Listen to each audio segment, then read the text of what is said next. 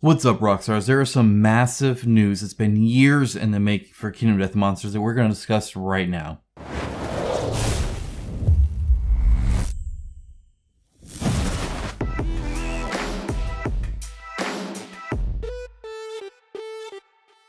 Thank you to my channel sponsor Into the AM. As a company that believes hard work and a great product is a proper way to conduct business, I am delighted to have them as part of the channel. They have some of the coolest graphic t-shirts around and an absolute best fit and feel that has continually exceeded my expectations.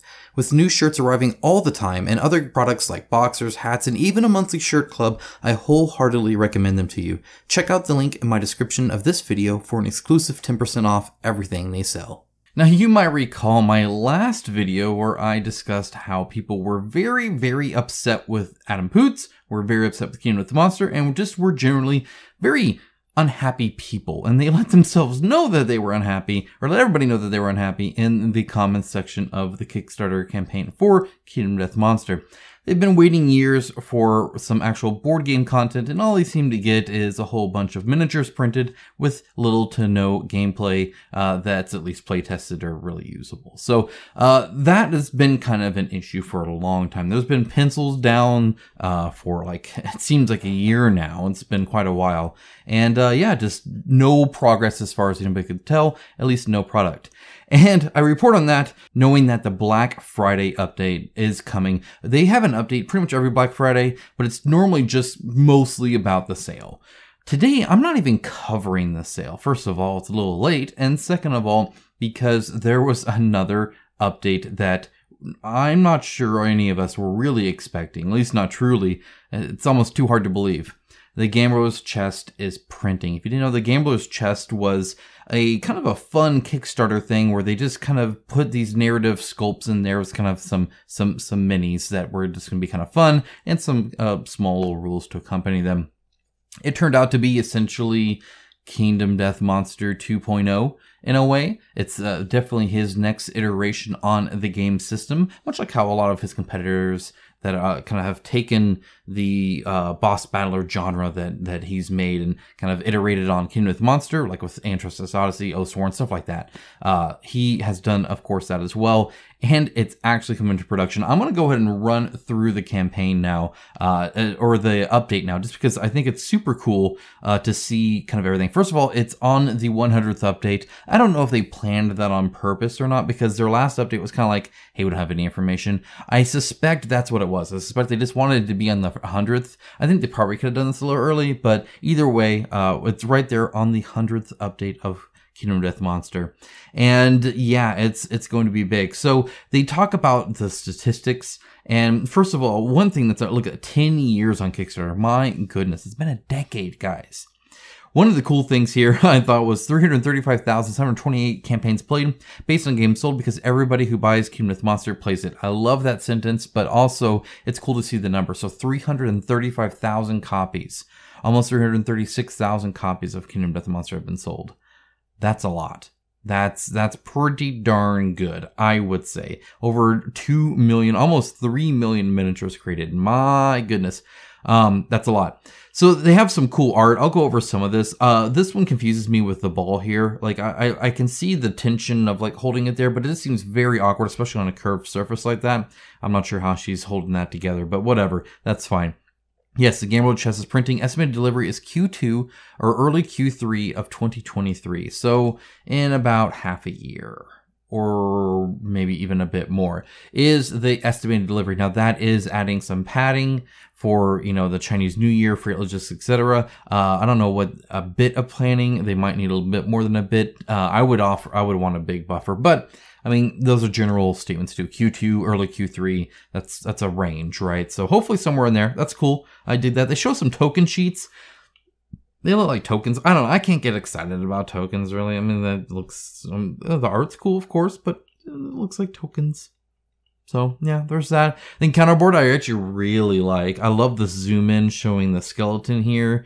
All these, that's fantastic. I really dig that. I like the shape of it. That looks super exciting. I'm, I'm excited for that. Razor sharp dice. I don't know yet. Um, I do like the look of the dice. Uh, the symbology on it is pretty heavy. And so that's kind of like, a little bit of a bummer. Uh, I, I, I tend to like to roll dice and know instantly what happened, not roll dice and then have to like figure it out or like you know do something else. So we'll see how those kind of really actually go. Uh, the Gambler's Chest uh, rule book looks fantastic. It looks very pretty, very well done. The graphic artist is fantastic at all of this. This is all great stuff. I like it. I like all the uh, smaller images in there, the call out boxes of cards, the big pieces of art that are always in there. It looks super cool. There are 200 pages of perspectives, these philosophy books. Uh, my favorite one is Deadism. I'm all about Deadism. I think that's cool. Deadism sounds just like awesome. It's very Kingdom Death Monster to have the Deadism. Here's a kind of a, a picture of it, and it looks like it's a real picture. I can see some kind of fingerprints and stuff like that, so that's cool to see, like a real kind of copy of it, or they faked it, which would have been kind of weird. You see that kind of gloss on there, and it, it, it it's going to be big. It looks like it actually says Gambler's Chest on it, which would be cool. This is the miniature box. So this is the original core box. Uh, you know, the one with all those like armor sets that you don't need to play the game? Yeah, that one. And this is the miniature assembly box with all the sprues for Gambler's Chest. It's bigger. It's like twice as tall by the looks of it, so it's huge, and not nearly as many. I think useless, and I say that in in terms of just like you know, like a boss is really needed, right? Uh, the starting survivor is really needed. The armor set's not quite as much, and they're definitely there. But as you can see, it's actually a pretty good spread of minis. I would say. I think that looks great. Um, I think they all look super high quality. Uh, of course, I mean, I don't know what else you would expect. Look, look at that instrument. Looks, looks great. All this looks awesome. Can't wait to get it. You can see, by the way, when they covered this before the uh, the assembly, this is the gambler's ball, and then you slot in the like bits of people like all around it. It's going to look awesome, I'm sure. Uh, they're going over essentially their scope creep, the the amount that they're delivering versus what they promised. Um, it's not that they under promised anything, and what they promised was a lot. So what they're delivering is an insane amount. It's why the core box is something you can pretty much just play. It's like huge. So this is the original game. This is the Gambler's Chest. So, and as you can see, it is quite a bit more. One great example of that is they promised 64 plus gear cards, and they're delivering 260 plus gear cards. I'm not going to go over the whole list here, but suffice to say that kind of shows a great uh, uh, example of the expansion that they've had. This is definitely a massive, massive campaign. For those of you who paid for it on the Kickstarter, you guys got a great price. I got in pretty early, so I still got a pretty, uh, pretty good price compared to what it is now. It's just been going up and up as they deliver more and more, but it's it's insane. Okay, so they talk about back and uh, uh being back on track. I'm not going to cover this. Uh, there, there's there's some oddities in that that I'm not really too concerned about. What I do like here is this. As I'm si- as I'm very excited to begin the next season of Kingdom Death Monster, the Redemption arc starting next year. I love that the Redemption arc. I would love nothing more than to see that happen. So hopefully that's the case. Um, they talk about the hard plastic showdown board. That's the really cool actual like sculpted board. That's going to be delivering quarter one 2023. So very soon here. And now Frog Dog and Black Knight, uh, pencils up is how they put it there, which a little tongue in cheek there. And if you didn't know, it's this one and this one. So they look super cool for sure. That'll be Q3 2023. Hopefully in time for Gen Con 2023. We plan on returning. I would love to visit them in Gen Con next year. So that is certainly on my to-do list. I think it'd be fantastic. Campaigns of Death got a big update here. So after that, right? Be next on their hit list, returning full development focus following the wrap up of the Frog Dog Black Knight expansion. So this will be, so they're going to wrap this up because they want to get content out the door. And I, I love that and appreciate that. Get some easy wins if you can. Campaigns of Death is going to be huge. It's the next big one, right? As far as I can tell, it's, it's going to be, it's going to be big. I, am I'm, I'm I'm excited for. it. I think it looks great. I actually haven't uh, bought it yet. I probably should. The whole Mountain Man inverted mountain expansion, by the way, looks incredible. They go into great, great detail here. The remastered version of him, I really appreciate. I like the new cape that he has going on there. It's much more dynamic and interesting. And his head, I really, really do like too. It's in a different position that is a little bit more creepy, and and I mean that in a good way. I think it's great. It looks it's a little slack, but then he's got the really tense, uh, kind of smile, gritted teeth thing there going on. Just looks great. It looks awesome. Uh, But they talk about starting survivors, which those look fantastic as well. They look really good. Talks about starting in the the bog, the pond scum, right, and all the different armor sets you're going to get there, and how you're going to uh, kind of go around the campaign and what you're going to be doing. Uh, going up the mountain, the the base actually comes with it.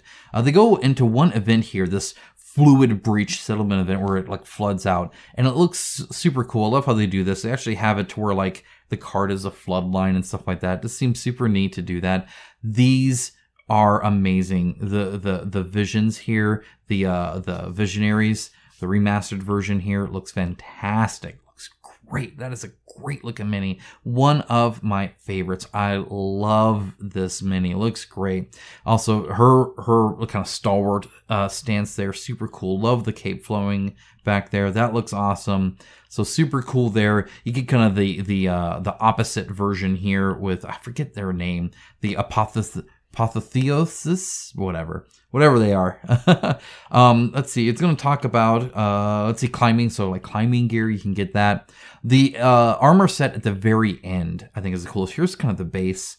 Uh, up high as it kind of gets higher and higher, which looks super cool. These guys look terrible. These trapdoor men, they like hide and like actually like grab you. This gotcha. So you put your miniature on there and bad things happen to you. Uh, coffin torture.